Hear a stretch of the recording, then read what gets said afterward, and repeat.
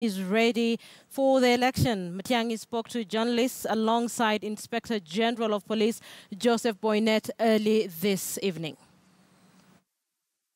90 returning officers across the country in all constituencies, all the 47 county coordinators uh, of IEBC, and a number of senior staff at the Secretariat, in addition to enhancing the security of the commissioners. Uh, as I've said before, we will do whatever it takes to support our brothers and sisters at IBC to conduct the elections and to deliver on their constitutional mandate. We do not conduct elections as government or as security sector agencies. Elections are conducted by the IEBC. The law is very clear about that. We respect their independence and we respect their constitutional responsibility. Our work with them is basically to understand the needs they have in terms of security and to provide that particular support. I'm grateful that we've had very useful discussions with them and that is uh, continuing and we will proceed to work with them as we go forward. On our part, we have made very detailed preparations. Um, all the security sector agencies, we have been having multi uh, uh, sectoral discussions, and we are now ready uh, to provide uh, support to the IBC. And uh, this includes, of course, um, availing personnel that the IBC will need wherever they will need it. And uh, this also includes escorting ballot papers, and escorting any other uh, assets that they, they, will have. We will continue to do this. And um, this morning I just signed the Gazette notice declaring 8th of August uh, public holiday as expected by law. Uh, of note is that we've not declared 9th of August a public holiday because we expect that uh, we will vote on 8th and go back to work uh, on the 9th. So far, uh, and we keep getting reports uh, on a regular basis from across the country. Uh, all is well. The country um, is um, safe, and we have not had any unusual and any significant incidents. So Nick Wambua attended that briefing today in the evening. Nick, um, this acting CS touched a little bit on social media, and like we all know, there are millions of Kenyans on social media. What specifically did he touch on with respect to social media?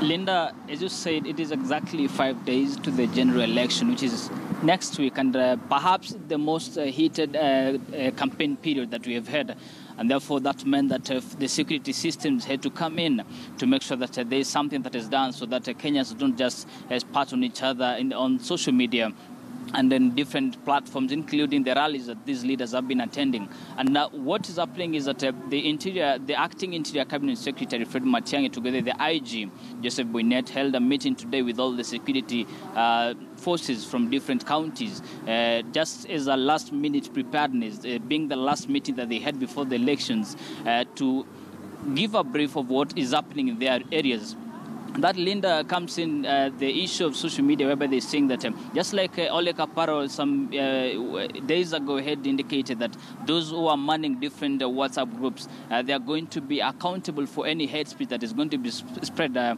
across WhatsApp and also Facebook and different medias.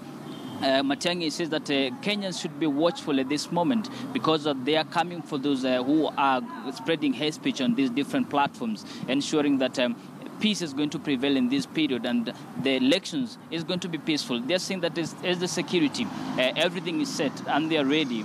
They are ready to make sure that uh, the elections is conducted in a manner that is sober and there's no going to be any sort of violence uh, whatsoever. But the, then he's also citing that um, as a police, they're going to make sure that they are going to act within the law. They're not going to do anything that is outside the law or that is outside their mandate, and therefore, and, and therefore saying that they'll be getting instructions from IEBC during the election period. Therefore, Linda, it is just a warning to those who are using social media and especially those who are affiliated to uh, particular parties that they should be watchful of what they say at this moment. So, Linda, nothing much from the uh, from this uh, uh, from this uh, meeting between the IG and the and the minister. Therefore, Linda, it means that uh, right now what is happening, they are going to be providing security. Also, just Okay. to mention uh, lastly, Linda, is that um, they're saying that uh, they are going to measure uh, or they're going to look at the uh, to, uh, at all corners to see how many police uh, they are going to Yeah. deploy in every polling station, indicating